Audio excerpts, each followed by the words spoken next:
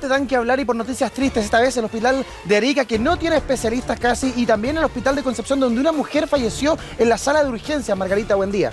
Es la nota de Javier Pino y yo insisto que mientras más tipos de denuncias de este, de, este, de este corte, digamos, recojamos, va a ser bastante mejor porque en el fondo va a alertar a las autoridades centralistas de que hay un déficit importante, pero en distintas áreas. Hoy día nos topamos con un tema horroroso, que es de partida la falta de especialistas de nuestro país, que usted se debe conocer de memoria de este discurso, pero además el tema de en las zonas extremas no hay absolutamente ningún incentivo para los pocos especialistas que hay, que finalmente se van todos, casi todos al sector privado, para que vayan a vivir en estas zonas alejadas. Arica tiene una ventaja, eso sí. ¿Cuál? Se van a Tacna.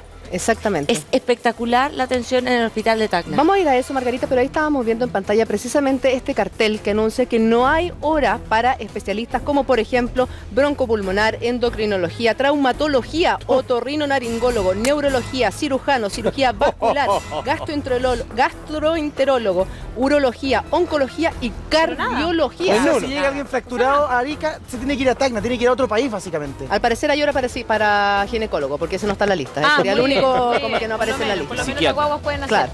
Oye, pero me parece el colmo. ¿Sabéis que lo que pasa es que hay campaña?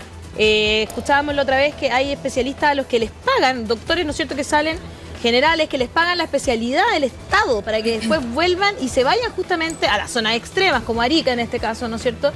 Y, eh, y eso no está pasando, no tenemos gente que puede, que puede tener esas plazas. ¿Por qué? Porque nuestros propios profesionales no quieren al parecer estar en la, en la salud pública. ¿Les conviene más estar en la salud privada? Eso sería yo. la razón, ¿o no? Perdón, está lo que conviene, pero la gran pregunta acá, ¿faltan especialistas o falta vocación?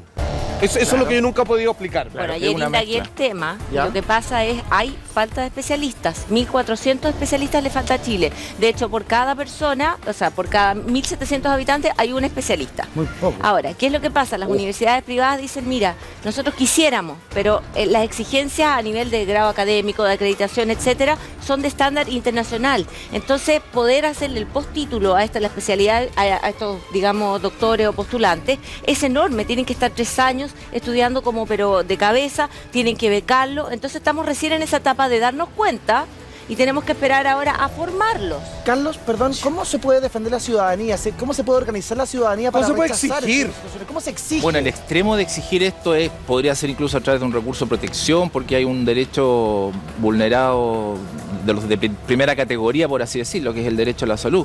En Chile hay cerca de 15.000 especialistas médicos funcionando. 6.000 de esos 15.000 trabajan prácticamente solo en el sector privado y el resto, o sea, 9.000 se reparten entre reparten el alma entre el sector público y el sector privado. Por supuesto. Y ahí está un poco Y la mitad debe estar en Santiago además, ¿o no? no me cabe duda. Si es que no el 80%. No me cabe duda. grandes de Concepción, Valparaíso y Santiago. No me cabe duda. Entonces ahí hay, hay, algo también de la vocación que, claro, uno no le puede exigir un una suerte de, no sé, de, peregrinaje. Pero Carlos, ni, siquiera hay incentivo económico para que las personas se vayan fuera de la centralización. Me imagino que en el sector público debe haber por, la, por el tema de la asignación de zonas. lo desconozco puntualmente, pero me imagino y la lógica me dice que debería haber asignación de zonas en la zona extrema. Pero aún así no es atractivo para un médico, porque para los médicos es mucho más atractivo de partida al sector privado o la combinación. Pero, o la combinación. Pero, Carlitos, tú ahí hablas de eh, básicamente interponer un recurso, pero finalmente lo que está haciendo la gente de Arica es cruzar a Tacna, en donde por 1.800 pesos en el Hospital Solidario de Tacna.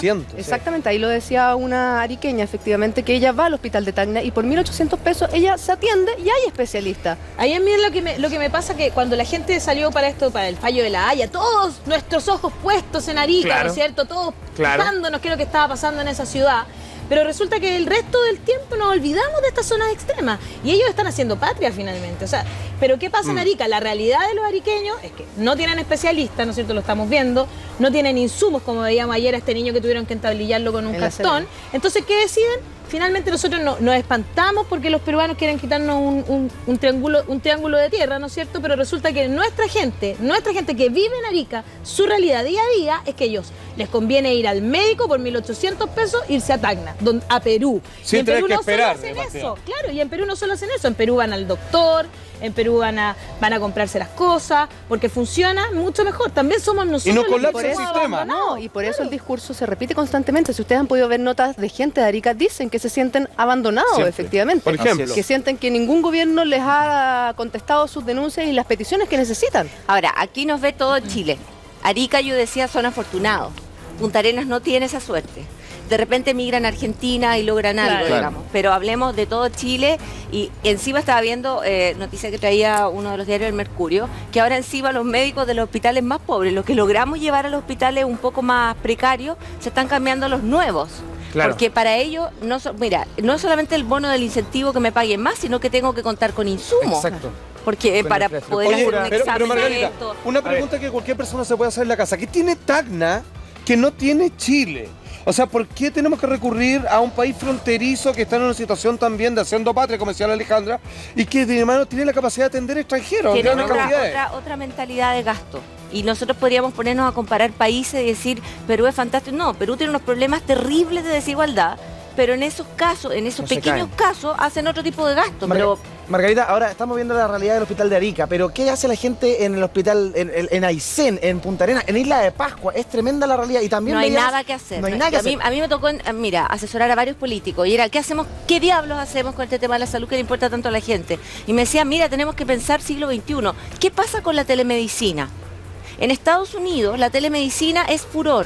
Ponen en Aysén una cámara donde desde Santiago, por último, el reumatólogo te pregunta los síntomas y con el médico internista que hay allá le dice, hazle un tratamiento de eso. Acá hubo una iniciativa, ¿te acuerdas, Alfate? Hubo una iniciativa, eh, precisamente una empresa que trató de hacer eso, de estas consultas a través de internet. Perfecto, sí, la prueba. Se levantaron todos los doctores diciendo cómo alguien te puede dar un diagnóstico sin ver al paciente y quedó la pues, entonces tampoco ¿por qué, no colapsa, ¿por qué no colapsa el hospital de Tacna justamente por ese tipo de cosas? Porque sí en Tacna, no en Perú, que es una ciudad que además está preparada para recibir a los chilenos, porque ellos han sido bastante pillos en ese sentido, ¿no es cierto? Bien inteligentes, digamos. Exacto, claro. Sí lo hacen, o sea, por ejemplo, si tú vas a un oculista, acá en Chile tenés que ir a un oculista a buscar tu receta, te lo digo yo, por...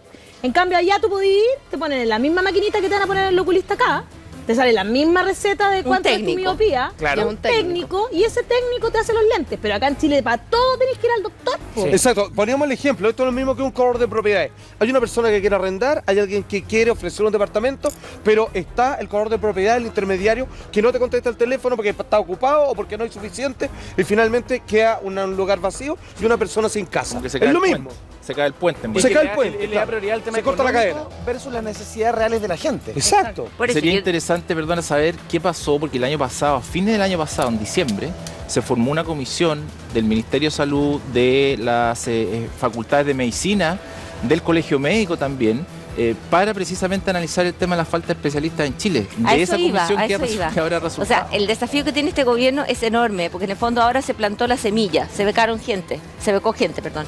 Em, pero demora cuatro años formar un especialista. Entonces, por favor, el mito, el mito de que hay, que están volando por ahí, no, está en el sector privado. Y cuando tú dices, bueno, ya, mandemos a la gente de FONASA al sector privado, salen gritando las voces de que están poco menos que privatizando la salud. Margarita. Se enriquecen las clínicas por culpa de, esta política de Estado. Y por esta falta de especialistas que existe en nuestro país, en los distintos hospitales a lo largo de todo Chile, ¿se justifica entonces la llegada de doctores extranjeros?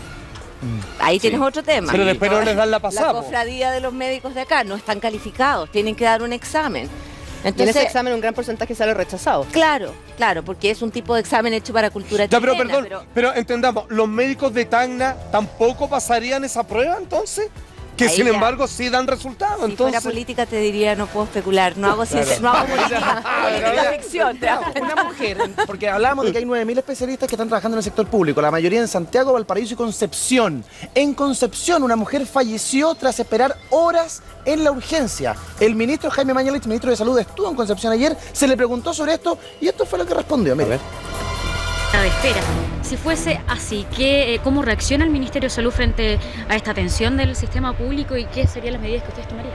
Es una acusación muy grave porque en la práctica significa una acusación de negligencia médica que es un delito y que tiene que establecer la justicia. Eh, nosotros lamentamos el fallecimiento de esta paciente eh, que, insisto, tenía eh, varias enfermedades descompensadas y creo que lo, lo prudente antes de hacer un juicio es que se investigue adecuadamente. Ministro, le queda poquito más de un mes de trabajo Yo creo que el ministro Jaime Malich ahí no dice nada.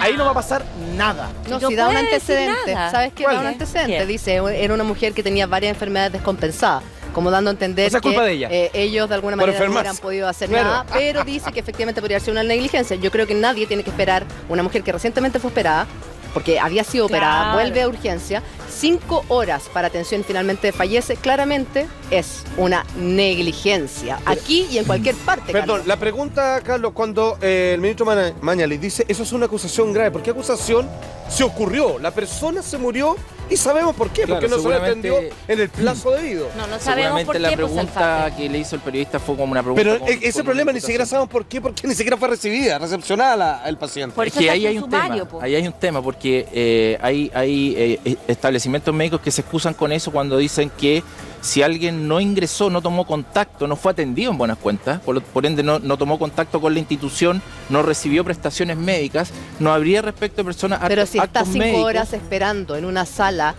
es más esperando urgencia. O sea, perdón, no está en su casa, sí, pero no en su casa, estaba ahí. Pero técnicamente no te has puesto en las manos de un médico porque la negligencia médica... A pesar de que haya hecho su ingreso a urgencia. Claro, porque la negligencia médica tiene que ser un acto médico cometido por un profesional... Por mala praxis. Un, profesional de la salud por mala praxis. por eso, Carlos, es mejor que eh, para los hospitales sería mejor que la gente que llegue a urgencia mejor no decirle nada, que esperen nomás y que se mueran ahí. Por supuesto, o sea, me desligo de cualquier Claro, es como decir, yo no choco el auto porque nunca lo saco. Bueno, es que... ¿Cómo decir eso? hay, hay, hay respecto a eso hay toda una crítica, por ejemplo, al, sistema de derivaciones que existe en la salud chilena. Claro. Que muchas veces se dice que la derivación no es porque no me pueda hacer cargo de la situación, sino que es porque la, quiero como pasear en buenas cuentas. No, no, la quiero, o sea, no es porque no pueda hacerme cargo de la situación, sino que porque no quiero hacerme cargo de la situación. Entonces la bypaseo y la, y la tiro a otro lado y nadie, y este paciente va flotando, por así decirlo. o sea, la gente tiene que ir lamentablemente con la conciencia de que va a un lugar colapsado. Claro.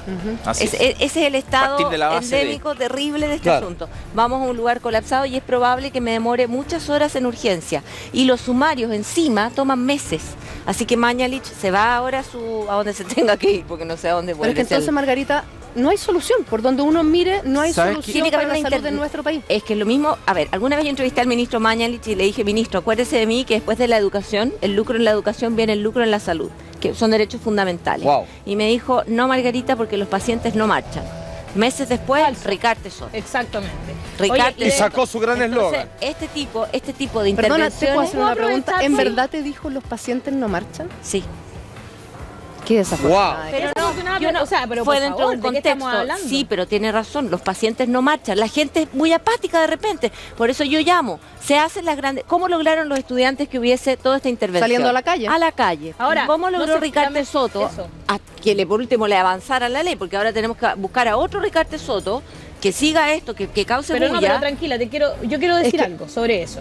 Pero tú tienes algo que... Sí, es que lo que pasa es que al parecer el ministro Mañalich se equivocó y se equivocó de frentón porque efectivamente los enfermos y los pacientes sí están marchando, sí. están exigiendo sus derechos. Así como se habla de los deberes, también existen los derechos de los pacientes y se están haciendo respetar. Ayer le mostrábamos un hecho realmente insólito de lo que pasó en el Hospital de La Serena con un joven que llegó con una fractura y como no tenía insumos este hospital, se les ocurrió la, brillante idea, porque es brillante en ese minuto para tratar de ayudarlo y poder derivarlo al hospital de Coquimbo. El maquillero de la medicina. Con un eh, cartón y con masking tape para poder derivarlo a, otro hospital en donde supuestamente hay yeso, hay férula, hay una serie de otras situaciones para poder solucionar este tema de la fractura. Entonces, si vamos un